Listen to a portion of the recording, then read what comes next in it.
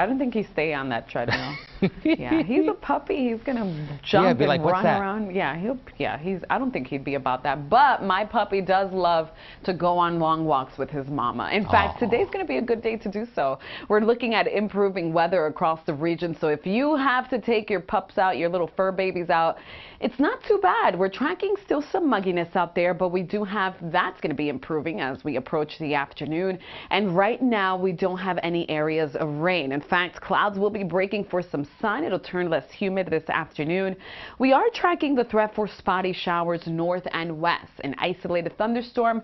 Right now, that threat not looking severe.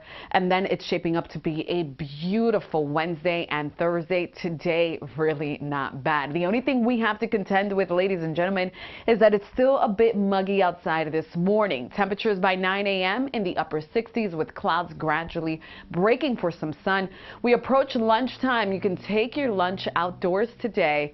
We're tracking a temperature of 77 by that hour, by 5 less humid outside with temperatures near 80 degrees. Let's go ahead and talk future dew points because it's steamy. Lots of us are waking up to dew points in the 60s as we head towards later on this evening. Notice how we are so much more refreshed, if you will. And that tendency continues as we head towards Wednesday. In fact, Wednesday, there's going to be a, a crisp feeling in the air. It'll feel nice. And Thursday is going to be just fantastic. Take a look at what it looks like. Seven day forecast. Absolutely gorgeous. Today, the only thing I'm watching is a spotty shower north and west.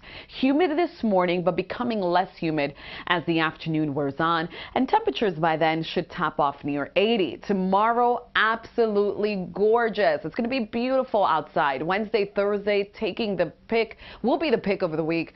On Friday, a little bit warmer, a tad more humid, and then the humidity returns in full swing here for the weekend. Beach weather unfolds for Dad on Sunday, and then more storms down the pipe by Monday. Thank you, Llarisa.